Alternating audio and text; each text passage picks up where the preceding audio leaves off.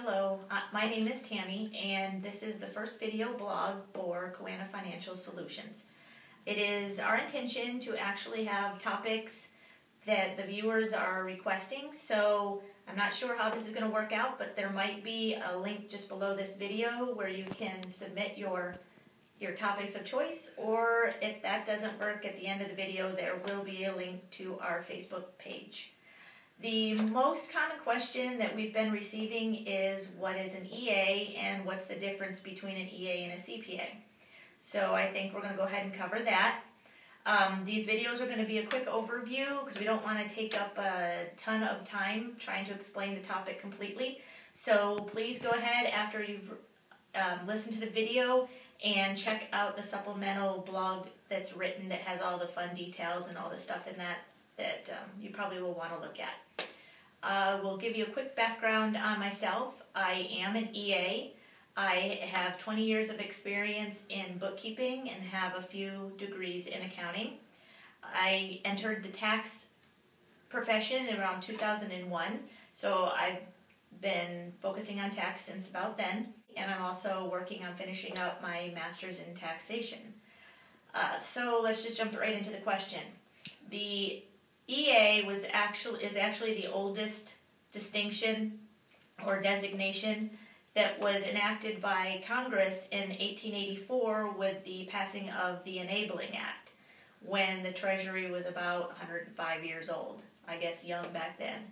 Um, the Congress decided they wanted to have professionals that were representing citizens before the Treasury, so that's why the whole pushing of the enrolled agents came about. These are a federally licensed tax professional that is extensively tested in the area of tax representation and regulations when it comes to any area of tax.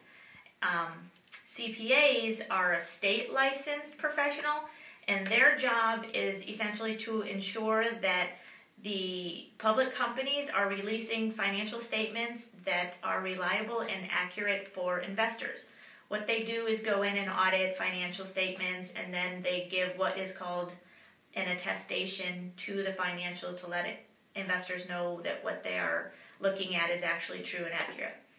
Um, so essentially it comes down to EAs are tax are licensed and trained and educated in the tax area CPAs are educated and licensed in the accounting area. EAs can also represent you before the IRS as well as CPAs. However, CPAs may not be as effective. Go ahead and check out the blog that we wrote on it for a little insight into what the judicial professionals, how they view CPAs and them representing people, taxpayers in court. Line is you need to make sure whatever service you're looking for that that individual is licensed in that area. If you're looking for someone in tax, you need someone licensed in tax. If you're looking for someone in accounting, you need someone licensed in accounting. As long as they're licensed in the area you're looking for the service, you can be sure that they are continuing their educations in that area because that's what's required in order to keep their license current.